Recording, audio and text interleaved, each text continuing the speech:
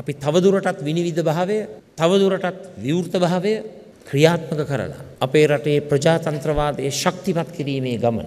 අපි ඉදිරියට ගෙන යන්නට බලාපොරොත්තු වෙනවා. මේ රටේ විවිධ පුද්ගලින් විවිධ තනතුරු හෙබුවත් ආණ්ඩුක්‍රම ව්‍යවස්ථාවට අනුකූලව අපි සියලු දෙනාටම එක හා සමාන අයිතින් තිබෙන්නට ඕන.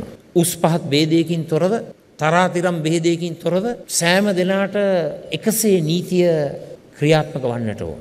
අපේ රට සුපිරිසිදු ප්‍රජාතන්ත්‍රවාදී රටක් බවට මුළු ලෝකයම පිළිගන්න තැනට අපි අපේ අනපනත් සකස් කරන්නට ඕන නිර්මාණය කරන්නට ඕන.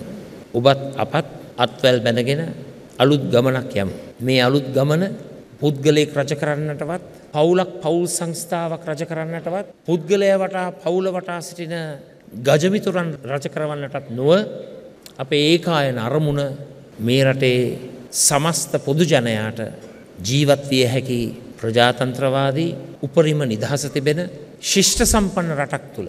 ජාති බේදය ආගම් බේදය සහමුලින්ම තුරන් කරපු රටක් හැටියට අපේ දැවන්ත ශක්තිය එකතු කරමින් අභිමානවත් මාතෘභූමියක් නිර්මාණය කරමුයි කියන යෝජනාව